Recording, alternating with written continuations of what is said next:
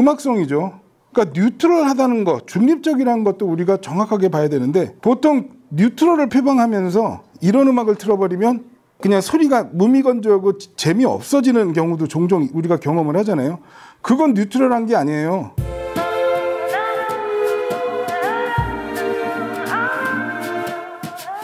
자, 377회 시청회입니다. 하이파이 클럽 시청회 와주셔서 대단히 감사합니다.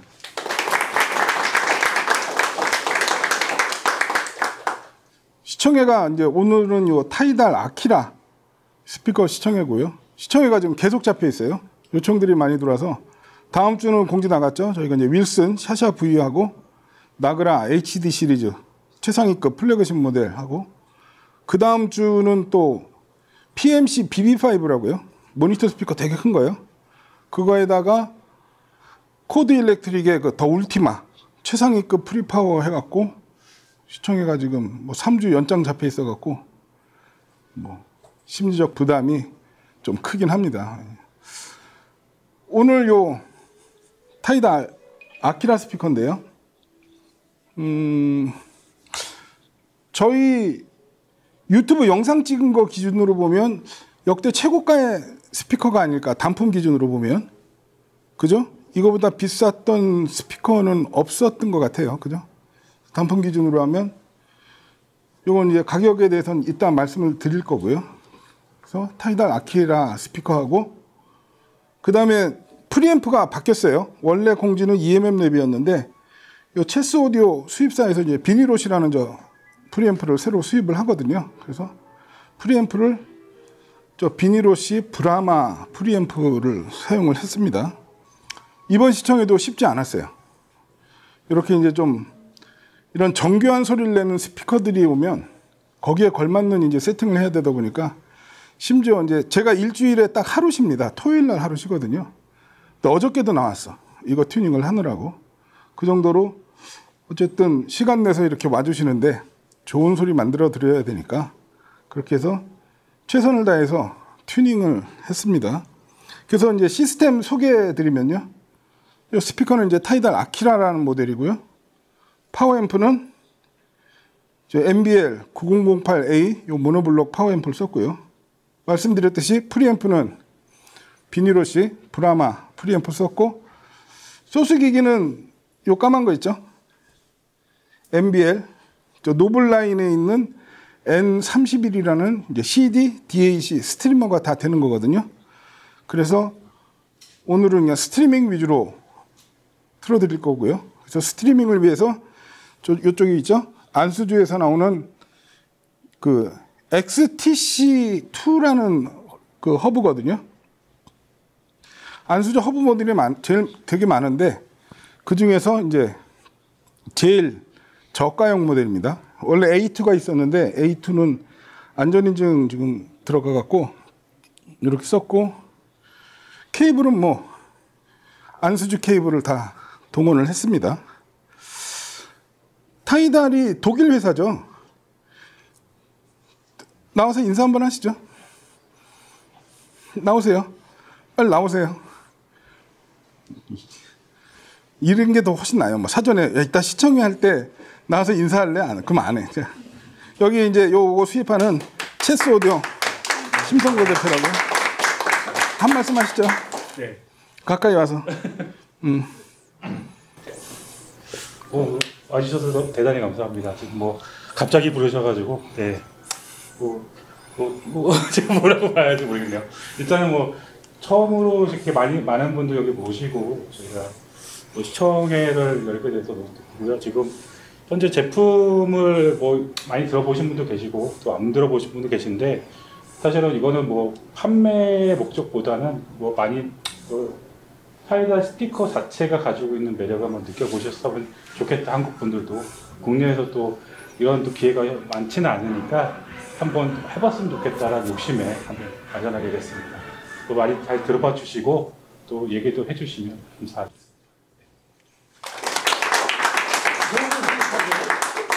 아, 수입하고 있는 거는 좀 아마 제일 잘하시는 건 오야이대 수입하고요.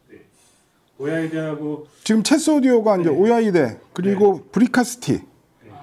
그 다음에 뭐 이것저것 굉장히 좋은 네, 제품들 이것도- 아트노비온 아트노비온 룸튜닝제 되게 그 이 알짜배기 제품들 많이 수입을 합니다. 네. 그리고 케이블 요번에 새로 뭐또 그러니까 신화진거라고 저희가 수입하는 독일산 브랜드가 있는데 걔도 또 이제 전 세계에서 보기가 힘든 또, 특, 또 특이한 스타일의 또 이렇게 그 튜닝제 그 액세서리들입니다. 그게 굉장히 maniac하고요. 사실은 뭐 저희가 뭐 하이엔드 제품들은 굉장히 비싸기도 하거니와 또 maniac한 부분도 또 같이 동시에 갖고 있습니다. 그래서 그런 부분들은 또뭐 국내에서도 한번 보여드리고 싶어서 뭐 사실로상 예, 그래서 사실 뭐 그런 부분도 준비한 게 많고요. 오늘은 사실 저희가 터, 저는 개인적으로 터치한 게 없습니다. 이게 사, 대표님께서 다 터치, 소리 다 만드셨고요. 그리고 여기 있는 것도 준비하셨으니까 한번 만끽해 보시면 좋겠습니다. 타이달 스피커를 직접 사용해 보신 분 혹시 계세요? 아무도 안 계시는구나. 그러니까 아까 어디 가셨지? 타이달 스피커 그 들, 빈베르그 들어보셨다는 분 어디 가셨지? 손 들어보세요. 예. 아 들어보셨어요? 그 타이달 스피커 소리 어떻게 들으셨어요? 전반적으로 뭐 빈베르그도 해상적으로 굉장히 좋았어요.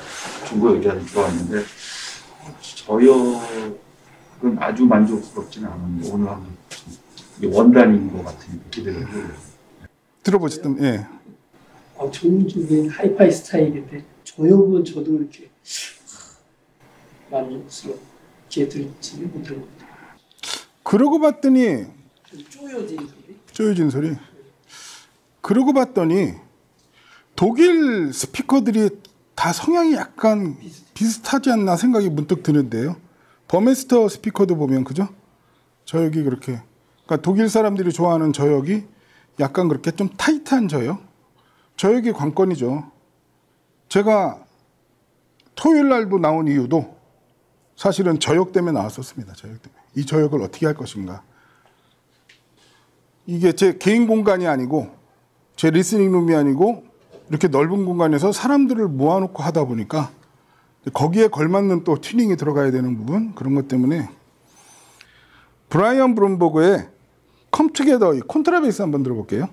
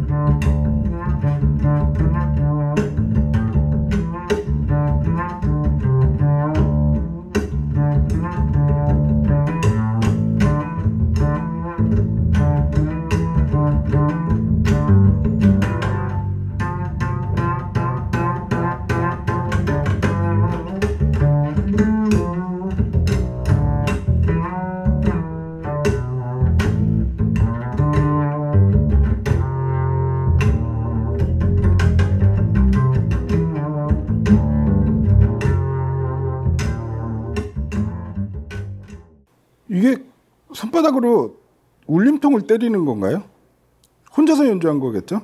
옆에 타있기는 제가 유튜브에 잠깐 검색을 해봤는데 이 곡을 많이 들어봤는데 뭐 이렇게 콘트라베이스로 울- 울림통을 때리는 이런 느낌이 약간 새삼스럽다 할 정도로 그러니까 이런 게 오디오는 재미죠. 같은 음악이 이렇게 다르게 들리는 그런 부분들이요. 일단 저역 쪽을 얘기를 해야겠죠. 이 정도 밀도면 그죠?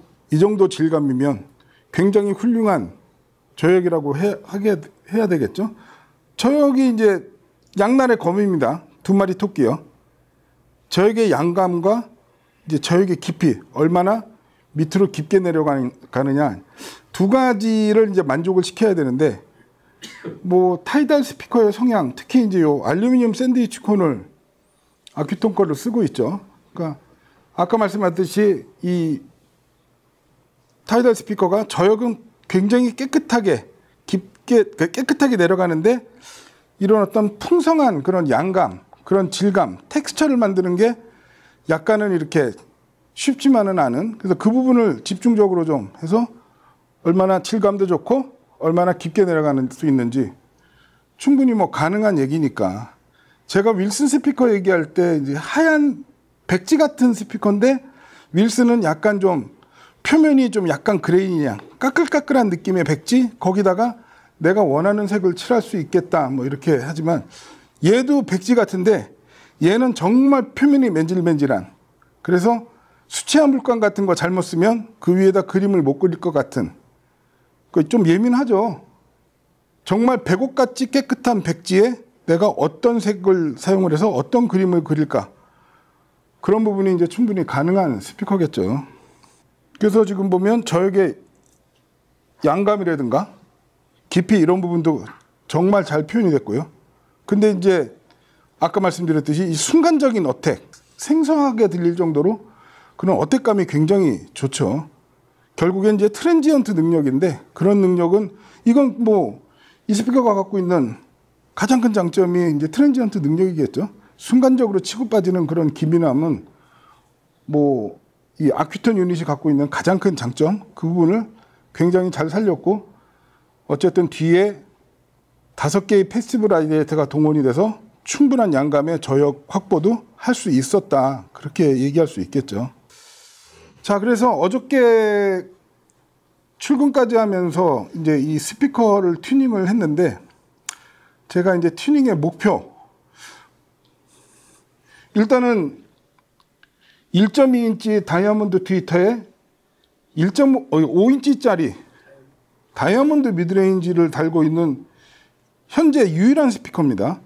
5인치 다이아몬드 midrange를 달고 있는 스피커가 저는 뭐 대표적으로 이제 다이아몬드 트위터 쓰는 회사 요즘 이제 활, 활발하게 활동하는 브랜드 보면 뭐 카르마하고 그 다음에 마르텐하고 이렇게 있죠. 그래서 다른 브랜드도 5인치짜리 쓰는 줄 알았더니 5인치 쓰는 데가 없더라고요, 아직.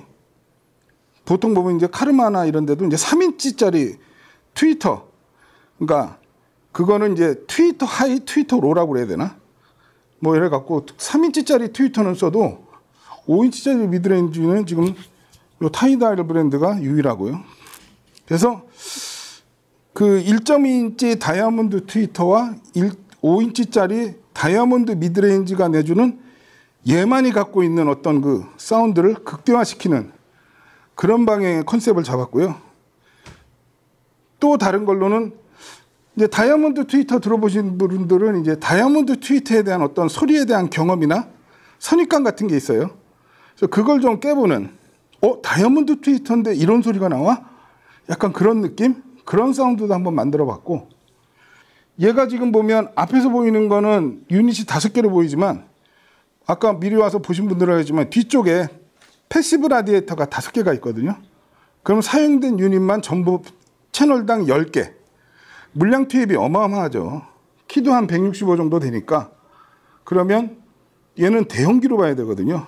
그래서 정말 이 대형기가 갖고 있는 사운드의 장점이 드러날 수 있도록 대형기의 어떤 소리를 좀 만들어 보려고 노력을 했습니다. 그래서 오늘 이제 계속 들어보시면 알겠지만 변화의 폭이 굉장히 큰 스피커라고 그래야 될까? 그러니까 음악마다 평소에 들었던 음악이 어떤 음악은 음성이 굉장히 크게 나오고 어떤 음악은 음성이 되게 작게 나오고 그러니까 평소에 들었던 느낌하고 좀 다른 느낌을 받았는데 그래서 그런 어떤 변화의 폭이 굉장히 극대화된 스피커라는 그런 부분도 한번 좀 부각시켜 보고 싶었고요.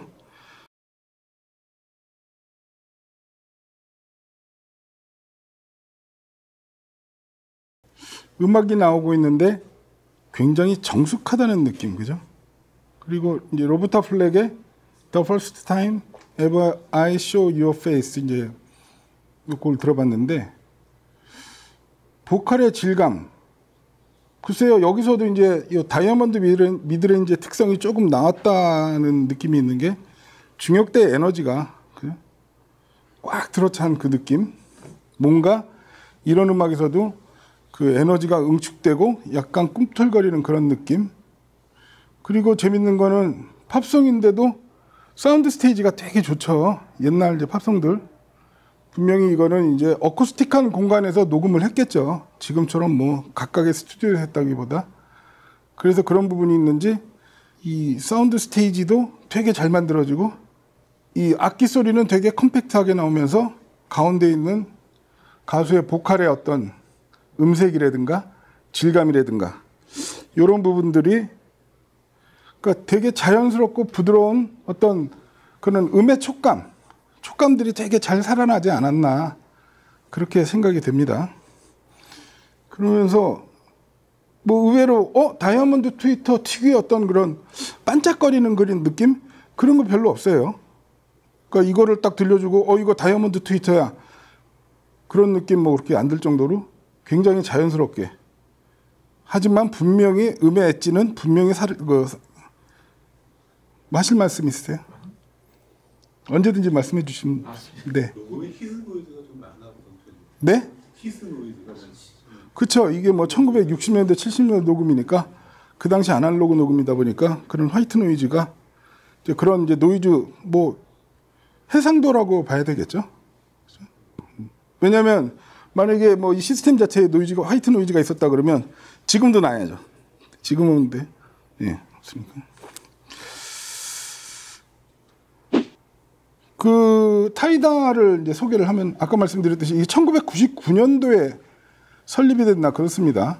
2000년대 초반부터 이제 사실은 이 다이아몬드 트위터, 세라믹 midrange, 세라믹 우퍼 제 기억에는 원조는 Lumen White로 알고 있어요.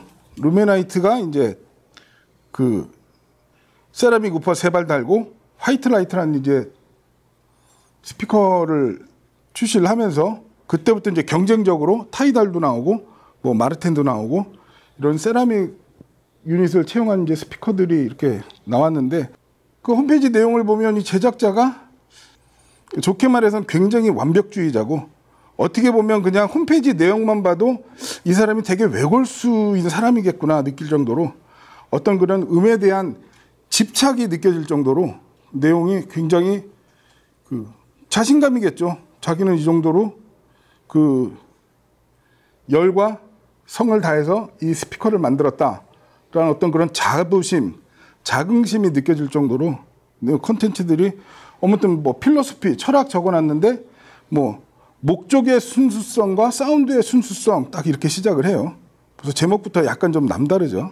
그래서 세계 최고의 사운드를 만들어내고 그리고 sound quality를 재정의해 보겠다 이렇게 합니다. 세계 최고 quality는 어느 브랜드나 다 하는 얘기입니다. 뭐 자- 우리 회사가 만든 제품이 사실은 뭐 그냥 한 두세 번째 될 거예요라고 하는 회사는 없죠. 그죠? 세계 최고는 다 얘기하는데 아주 목표를 되게 원대하게 잡아서 사운드의 quality를 내가 우리가 Tidal이라는 브랜드가 재정의를 해 보겠다. 그래서 perfect한 사운드를 추구하는데 엄정 중립을 얘기를 합니다. 그래서 자기네 스피커에서 어떤 그 음질적 특이 성향이나 coloration, 착색을 일체하지 않는 그런 사운드를 만들어 보겠다. 그렇게 아예 그냥 선언을 하고 그러니까 독일 특유의 neutral한데 이 회사는 더 중립적인 부분을 추구하는 그런 회사라 할 수 있겠죠. 그래서 그러면서 이제 뭐 장인 정신 이런 걸 막 얘기를 하면서 100% 수작업으로 만든다. 그 부분도 막 강조를 해요. 뭐 자동화 기계를 쓸 수도 있고 뭐 하는데 아무튼 말씀드렸듯이 이 다리도 지금 보면 되게 근사하죠. 저 크롬 도금에서 광택을 냈는데 저게 다 손으로 광을 낸답니다. 기계로 안, 간, 그, 안 하고 그러니까 이 라카칠도 그렇고 100% 사람의 손으로 만든다는 부분을 강조를 하고 있습니다. 그래서 그런 얘기도 쓰나요? 뭐 기술과 감성 이래 갖고 기술은 수단일 뿐이고 예술을 전달하기 위한 도구다. 좋은 단어만 골라서 쓴 거긴 하겠지만 어쨌든 이 제작자의 어떤 이 sound quality에 대한 어떤 그런 마인드를 엿볼 수가 있겠죠. 그러니까 뭐 누구나 적어놓을 수 있는 얘기인 것 같기도 하지만 어쨌든 그만큼 자기는 이 목표를 굉장히 높게 잡고 스피커를 만들었다 이제 그런 부분을 얘기를 하더라고요. 그래서 아까 그래서 제가 이제 요 라카칠 부분을 얘기를 했지만 얘네들이 그리고 기술 공개 이런 걸 별로 안 해요. 자기네들이 뭐 인클로저가 두 가지 타입이 있대요. 그래서 그 티라도 티라더하고 티랄리 두 종류가 있는데 그게 뭐 특허 기술인데 내용은 공개를 하지도 않습니다. 그리고 심지어 이 회사 이 홈페이지에 스펙을 보면요 주파수 대역도 안 나와 있어요. 주파수 대역도 없으니 크로스오버를 얼마에 잘랐는지 당연히 그것도 공개를 안 하겠죠.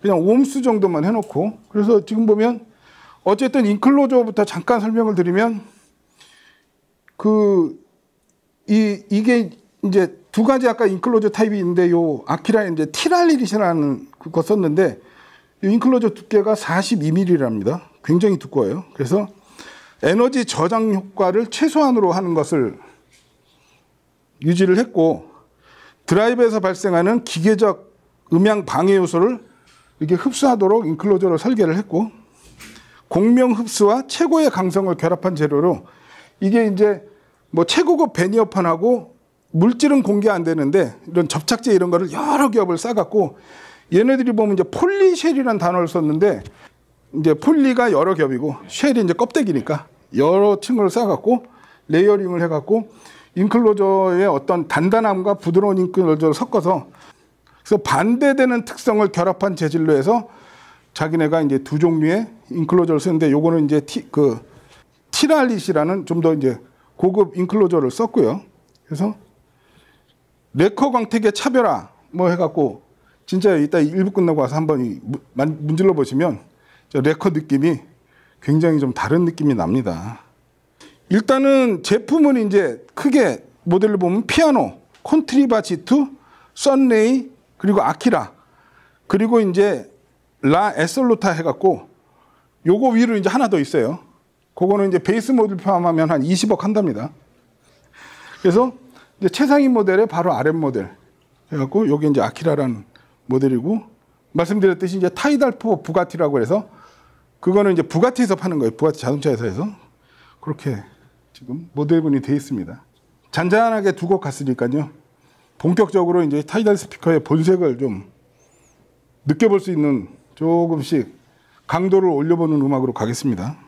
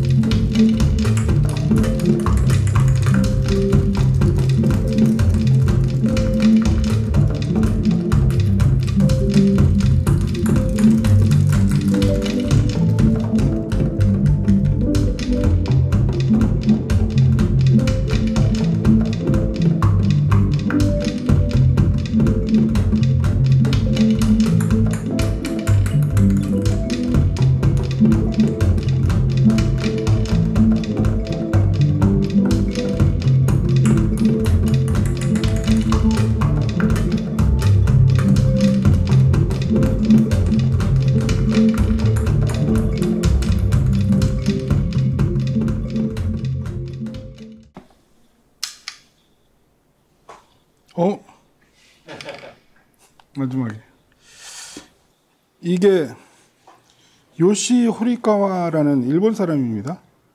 슬슬 이제 이 곡에서는 Tidal 트윗 그 다이아몬드 트위터와 midrange의 이제 장기가 드러나죠.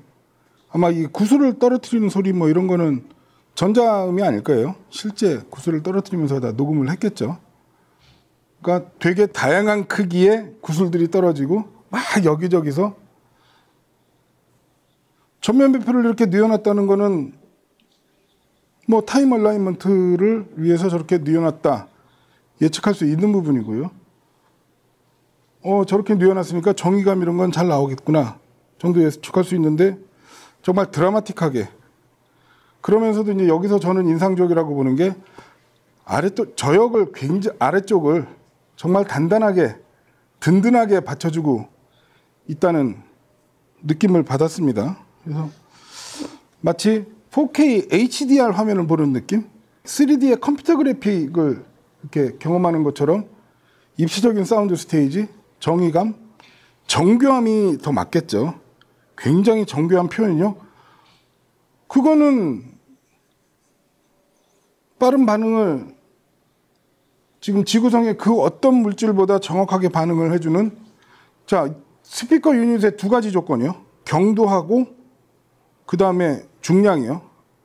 가벼울수록 좋고 단단할수록 좋거든요. 그런 재질로는 타이달 홈페이지에는 그 얘기도 써놨더라고. 언젠가는 우퍼도 나오지 않겠냐. 다이아몬드 우퍼. 그거는 그럼 진짜 이제 가격이 산으로 가겠죠, 진짜로. 근데 어쨌든 가장 단단한 물질 다이아몬드를 이용해서 만들어내는 그런 정교한 사운드. 그거는 요 Tidal 스피커가 갖고 있는 가장 큰 장기. 그런 장기를 알아보는 음악이라 그 버, 그 노래 제목은 음악 제목은 Bubbles였습니다. Bubbles. 자, Akira 이제 본격적으로 얘기를 해보면 국내 소비자가는 이제 4억 2천만 원입니다. 가격 기준은 거부감이 있습니다. 도대체 뭐 이걸 뭐 금태 둘렀냐? 금태를 두르진 않고요. 이제 다이아몬드를 둘렀으니까 그래서 보통 이제 가격이 이렇게 고가면 일단 가격 자체가 주는 거부감이 있죠. 음. 사기치는 거 아니냐. 떼돈 벌려고 뭐 했냐. 그런 얘기들을 하는데 그럼 누가 사기를 치는 거냐? 과연 이 제작자가 진짜 스피커 하나 팔아서 팔자 고치겠다고 이렇게 높은 가격을 매겨놓고 사기를 치는 건지 아니면 뒤에서 계속 나를 지켜보고 있는데 수입사 사장이 이거 한 5천만 원에 수입해갖고 이거 한 4억 2천에 한 대 팔면 팔자 고치는 걸로 해갖고 예? 수입사가 사기를 치는 건지 아무튼 가격이 4억 2천만 원이라는. 근데 어차피 제품의 그 어떤 그 가치와 그 가격에 대한 것들은 뭐 그렇게 따지면요. 제가 지금 요 애플워치 아닙니다, 이거. 저는 갤럭시를 쓰기 때문에 애플워치를 못 써요. 그래서 이게 중국산 이 짜플워치라고 이거 똑같이 생겼는데 3만 원짜리, 4만 원짜리 쿠팡에 가면은 널렸습니다. 이건 그래도 좀 비싼 거예요. 이거는 그래도 한 20몇만 원짜리인데 자 3만 원짜리 애플워치 이미테이션 제품이 있고 일반적으로 애플워치가 한 100만 원 정도 한단 말이에요. 그러면 3만 원짜리 그 중국산 이미테이션 제품 쓰는 사람이 100만 원짜리 애플워치 쓰는 사람 뭐 뭐라 그러면 안 되는 거잖아요. 그 시계로 가면 뭐 자동차도 그렇고 한두 끝도 없죠. 뭐 1억이네, 2억이네, 뭐 10억이네. 그러면 10억짜리 시계가 지금 내 3만 원짜리 이 아니 3만 원 아닙니다 이거 이런 그 이 저가형 스마트워치보다 시간이 훨씬 더 정확해요. 그런 거 아니잖아요. 결국엔 그 제품에 대한 가치 그런 것들은 이제 사람마다 판단하는 게 좀 다르다 볼 수 있겠죠. 그래서 갑자기 제가 솔직히 스피커 이렇게 뭐 리뷰하거나 시청해나 이제 이런 걸 하면서 유닛 가격에 대해서 관심이 없었거든요. 근데 갑자기 생각이 나서 한번 조사를 해봤어요. 요게 Accuton에서 나온 7.5인치 알루미늄 샌드위치 콘이거든요. 사운드포럼에서 개당 200만 원이더라고요. 그러면 이게 앞에 세 개 있죠. 뒤에는 모델 형번은 다른데 똑같이 생긴 passive 라디에이터를 다섯 개 썼거든요. 그러면 여덟 개잖아요. 여기 또 여덟 개 있고 그러면 열여섯 개네 유닛이. 그러면 200만 원 곱하면 저 우퍼 가격만 일단 어쨌든 3,200만 원이네. 그죠? 그리고 다이아몬드 트위터 여기 1.2인치짜리 그러니까 뭐 0.75인치짜리도 있고 1인치짜리도 있고 뭐 1.25인치짜리도 있고 이 트위터가 국내에는 가격이 안 나오고 홍콩에 있더라고요. 페어에 한 1,200만 원 정도 하더라고요. 1인치짜리 1.2인치짜리가 5인치는 가격이 없어요. 어딜 봐도. 그래서 5인치는 없는데 3인치짜리 트위터는 또 가격이 있더라고요. 그래서 3인치짜리 다이아몬드 트위터가 2,700만 원이더라고요. 그러면 1.2인치는 1,200만 원인데 3인치로 올라가면서 2,700만 원이니까 기하급수적으로 올라가게 되니까 5인치짜리면 뭐 타이달 본사에서는 저 유닛 가격만 두 개에서 2억이라고 하는데 그거는 뭐 그냥 뭐 믿기 어려운 얘기고 어쨌든 그러면 잠정적으로 5인치를 그렇죠. 최소 6천만 원은 잡아야겠죠. 곱하기 2만 하더라도. 그죠? 그러면 순수 유닛 가격만 1억이 넘습니다 이게 그러니까 역대 스피커 중에서 가장 물량 투입이 많은 그리고 이제 스피커 제조사들이 꼭 뭐 유닛 제조사한테 특주를 냈다 특주를 냈다 하거든요 얘네들도 당연히 다 자기네 특주 유닛이라고 Accuton이랑 공동 개발했다고 해서 봤더니 Accuton 홈페이지에 이 Tidal이 파트너사로 지정이 돼 있더라고요. 그래서 Tidal하고 Marten하고 몇몇 회사들이 이제 파트너사로 돼 있어요. 하이엔드 쪽에. 그러니까 Accuton 회사 입장에서는 이렇게 고가의 하이엔드 제조사가 자기네 유닛을 갖고 이렇게 만들면 이제 일반 스피커 자작하는 사람들이나 그런 쪽에 시장이 넓어지니까 서로 이제 협업 관계를 하겠죠. 그래서 아까 제가 말씀드린 거는 이제 일반 Accuton에서 나오는 일반 판매되는 유닛 가격이고 이렇게 이제 특출로 해서 모양도 다 다르게 생겼어요. 뒤에 구조도 다 다르고 이 다, 다이아몬드 트위터도 뒤에가 다 다르게 생겼고 그러니까 우리가 자동차 보면 뭐 벤츠나 BMW 가보면 세 가지 부품이 있습니다. 순정 부품이 있어요.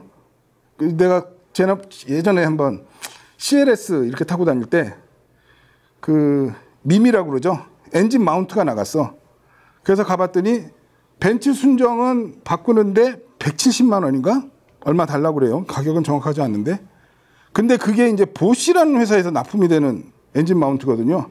그래서 Bosch 똑같은 스펙의 Bosch를 쓰면 바로 가격이 한 절반으로 떨어져요. 한 80만 원 이렇게 되더라고. 그리고 이제 그 밑으로 이제 알리산이 있습니다. 카피 뜬거 중국 애들이 그건 한 20만 원 정도 되는. 그러니까 순정과 OEM은 또 다른 얘기니까 어쨌든 제가 말했던 유닛 가격은 그냥 아큐톤 일반 소비자들이 살 수 있는 그냥 가격이다 그러면 이거는 글쎄요.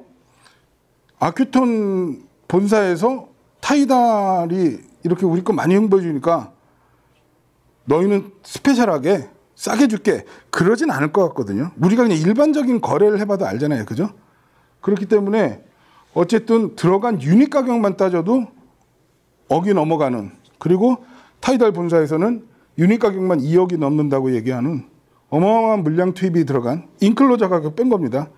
좀 이따 이제 네트워크 얘기도 할 거고 밑에 스탠드 얘기도 할 건데 어쨌든 그러니까 비용 전혀 신경 안 쓰고 나는 내가 어떻게 보면 행복한 인생을 산 사람이죠. 자기 하고 싶은 거 마음껏 하고 사니까. 나도 좀 그렇게 살아봤으면. 시청이 안 하겠다고 토요일도 와서 그냥. 근데 아무튼 그렇게 해서 어쨌든 유닛 가격만 해도 어마어마하게 물량 투입이 된 그런 스피커다 할 수 있겠죠. 그러면 이제 유닛 제조사도 사기꾼에 합류, 합류되는 거네. 무슨 유닛 하나에 2천만 원을 받고 3천만 원을 받고 아큐톤도 그럼 사기꾼이 되는. 그러니까 결국에는 이제 규, 모의 경제죠. 얘네들이 부가티 뭐 하지만 부가티 막 20억, 30억씩 하잖아요. 부가티를 하긴 부가티인데 예를 들어 부가티에서 한 4억짜리 나온다 그러면 줄 서서 사긴 하겠다. 돈 있는 사람들은. 어쨌든 자, 이 스피커가 4억 2천인데 그런 생각을 해봤어요. 이거를 싸게 한다고 그래서 한 천만 원에 이렇게 판다. 그러면 진짜 많이 팔릴까요? 그러지도 않을 거라고요. 결국에는 이 제품의 가치를 판단한 느끼는 사람이 있을 거고 문제는 천만 원에 대해서도 우리 집에도 못 나 너무 커서 그죠? 환경도 있는 부분이고 그러니까 그런 의미에서의 어떤 4억 2천을 좀 봐야 되지 않을까라는 생각이 듭니다. 그 다이아몬드 유닛이 만드는데 예. 굉장히 어렵고 시간 많이 걸리고 또 분량이 많이 나온다고 그렇죠. 그리고 얘네들이 이제 계속 강조하는 게 이게 1캐럿, 이게 13캐럿 해갖고 뭐 14캐럿 해서 얘네들은 순수 다이아몬드, 그러니까 다이아몬드 트위터가 두 종류가 있습니다. 다이아몬드 코팅이 있고 다이아몬드 그냥 순수 다이아몬드 결정체가 있는데 얘는 순수 다이아몬드 결정체를 그대로 만든 거니까 인조 다이아몬드는 되는데 왜 인조 금은 안 된다고 그러더라고요. 또 한 번의 행성 폭발이 일어나지 않는 한 그러니까 유닛 자체가 그만큼 원가가 많이 소요된 거겠죠. 그래서 이게 일부 때 들어야 될 음악이 지금 두 곡이 남았거든요. 음악을 또 하나 들어보겠습니다.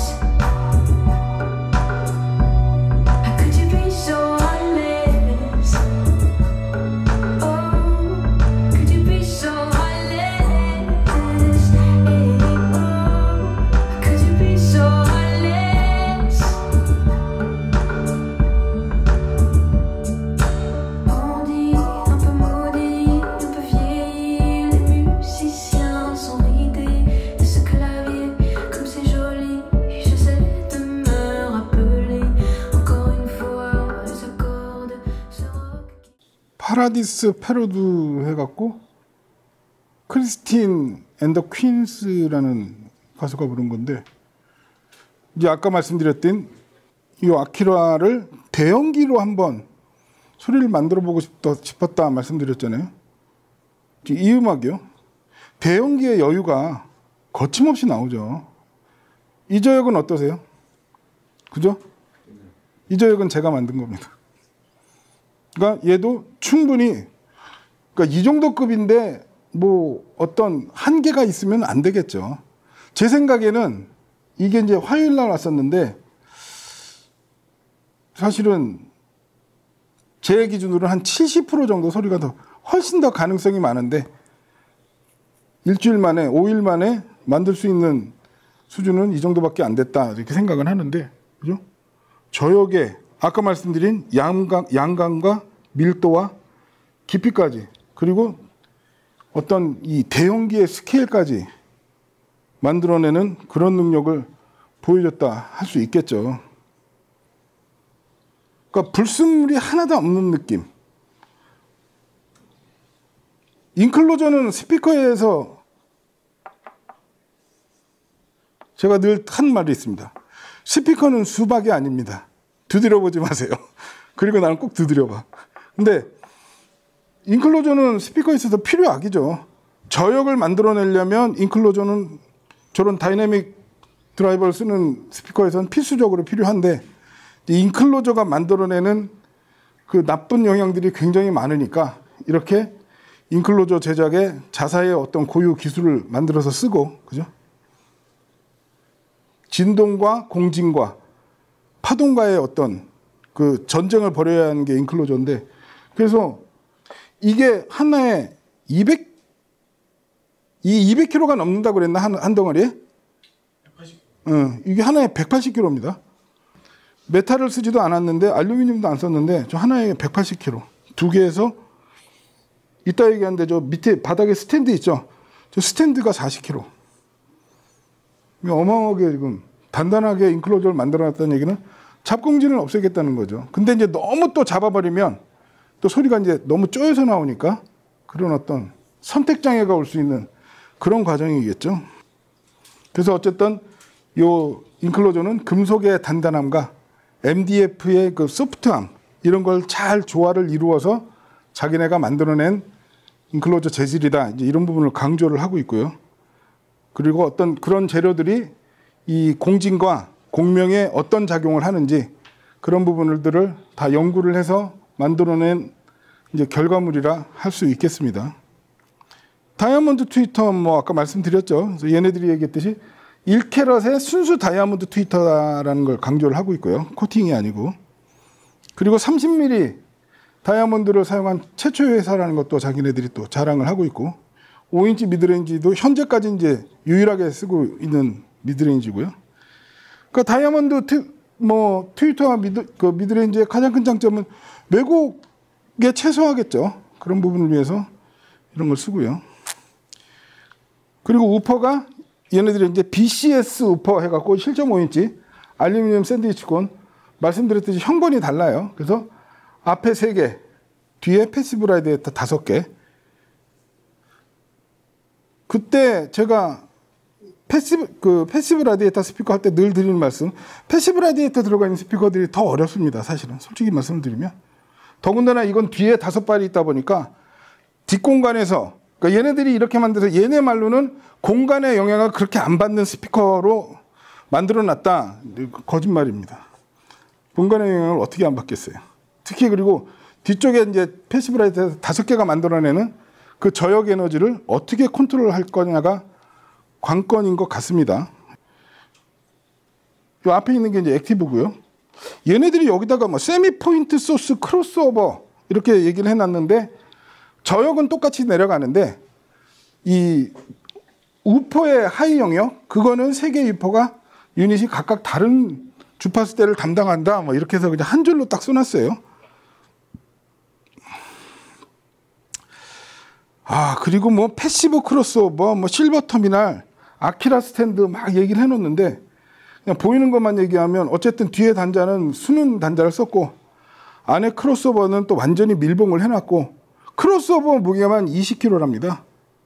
그래서 자기네 들어간 부분 중에 crossover가 제일 비싸대요. 그러면 이제 midrange보다 비싸다는 거예요? 그건 아니겠죠. 그래서 crossover에도 여기서 이제 Uno pulse crossover라는 얘기를 써요. 그 Uno는 내가 말이게 이태리 말 하나를 쓴 것 같고, 그럼 단일 펄스 뭐 이렇게 번역이 될 수 있는지 모르겠지만, 그래서 밀폐된 챔버에 장착해서 총 중량이 20kg고, 순수 구리 코일 뭐 호일 capacitor 써고 뭐 은탄소 저항기를 썼고 뭐 고급 부품 써야겠죠. 가격이 얼마인데 그럼 그죠? 뭐 그건 당연히 써야겠죠. 그리고 터미널이 이제 수는 은 도금이 아니라 수는 터미널을 쓰고 있고요. 그리고 이제 이따가 2부 때 해드릴 거거든요. 얘는 재밌는 게 뒤에 접지 단자가 3개가 달려 있어요. 스피커에. 하나도 있는 게 아니라 3개를 달려 있어서 그걸 갖고 이제 튜닝을 할 수 있습니다. 바로 마지막 곡을 일부 마지막 곡을 듣고요. 2부 때는 저희가 이제 요 비닐옷이 요 프리앰프 잠깐 해드리고 아까 말씀드렸듯이 저 프리앰프가 옵션이 되게 많아요. 그래서 그리고 요 아까 말씀드렸던 요 스피커 뒤쪽에 접지 단자 사실은 그거 두 개가 어저께 나온 이유가 그 두 개 선택하느라고 나온 거예요. 어떤 그런 선택 옵션에 따라서 소리가 되게 많이 변하거든요. 그것도 잠깐 해드릴 거고요. 그래서 2부, 1부 마지막 곡을 이 곡 한번 들려드려보고 있어요. 조, 그, 그 조르디 사발이요. 비올다 감바 이거 한번 들어보시죠.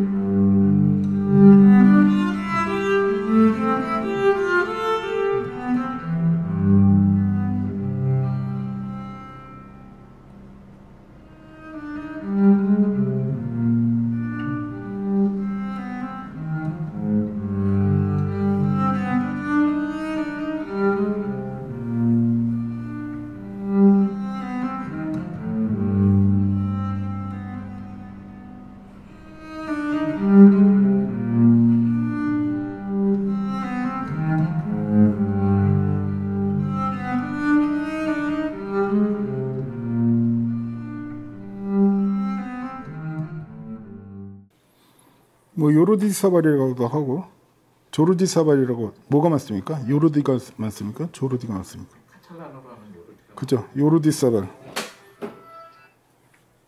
인간의 목소리라는 앨범에서 바흐의 미뉴엣을 들어봤는데 갑자기 스피커가 약간 탄노이로 바뀐 것 같은 느낌. 근데 탄노이에 비해서는 음의 입자가 훨씬 더 고운, 굉장히 고운 고역의 입자. 그러니까 이 제작자가 얘기했던 자기네 스피커에는 어떤 음질 성향이나 착색 이런 걸 일체 허용하지 않는다, 용서하지 않는다, 뭐 그렇게 써놓은 것처럼 스피커가 돌변을 했죠. 아까 시청에 처음에 제가 말씀드렸던 어 다이아몬드 트위터인데 이런 음색이 그거를 해보겠다고 한 음악이 이 음악이거든요. 비올다 감바가 그냥 독주로 계속 그냥 잔잔하게 이어지거든요. 이런 곡이 사실은 시청에 틀기 되게 위험한 곡이기도 하고 힘든 곡이기도 합니다. 왜냐하면 음악적 긴장감이 유지가 안 되면 갑자기 재미 없어지거든요. 오늘은 안 가실 거예요. 그걸 알아요. 오늘 USB 케이블 좋은 거 다섯 개 가지고 사은품으로 시청에 다 끝난 다음에 추첨이 있기 때문에 볼모로 잡혀 있는 겁니다. 근데 그래서 이런 음악을 시청에 들으면 자칫 보링해질 수 있고 되게 좀 이렇게 재미 없어질 수 있거든요. 근데 그리고 음량도 별로 안 키웠어요. 그죠? 작은 소리로 잔잔한 음악이 계속 이어지는데 그 음악적 긴장감을 계속 끌고 간다는 거 음악성이죠. 그러니까 뉴트럴하다는 거, 중립적이라는 것도 우리가 정확하게 봐야 되는데 보통 뉴트럴을 표방, 표방하면서 이런 음악을 틀어버리면 이거 그냥 소리가 무미건조하고 재미 없어지는 경우도 종종 우리가 경험을 하잖아요. 그건 뉴트럴한 게 아니에요. 그냥 그 시, 오디오나 그 시스템은 무미건조한 음의 특성을 갖고 있는 부분이지 장르마다 지금 뭐 다양한 뭐 음악을 들려드렸는데 변화의 폭이 굉장히 크다고 말씀드리는 거예요. 이제 2부 때는 더 신나는 걸로 이렇게 틀어드릴 건데 진짜 그 느낌이 되게 다르죠. 방금 전에 그 파라디스 페루드에서 들었던 그 어떤 스케일감하고 지금은 비올라 다 감바가 가운데 조그맣게 딱 자리 잡고 혼자서 엄청 끙끙거리대 이 아저씨 여기서 듣는데 계속 응응 하면서 어그 그 신음 소리가 왜 중요하냐? 음악을 들으면 되지. 그런 micro dynamics, 그런 inner 디테일들이 살아났을 때 음악의 어떤 작은 소리들이 다 미묘한 소리들이 다 살아나면서 음악 듣는 재미가 늘어나는 거니까요. 그래서 어떤 엄정 중립의 사운드의 어떤 기준, 얘가 얘기했던 사운드 quality의 재정의를 자기가 한번 해보고 싶었다. 그런 부분들. 이 사람을 만나고 싶진 않아요. 나랑 코드가 안 맞을 것 같아. 근데 어쨌든 이 사람이 어떤 그런 얘기했던 부분들을 그러니까 진짜로 뭐 매니악하게 이 스피커를 만들었구나. 라고 얘기할 수도 있겠죠. 네, 그럼 한 10분만 쉬었다가요. 2부 때 요 프리앰프랑 말씀드렸던 그 옵션 한번 해보도록 하겠습니다. 네, 감사합니다.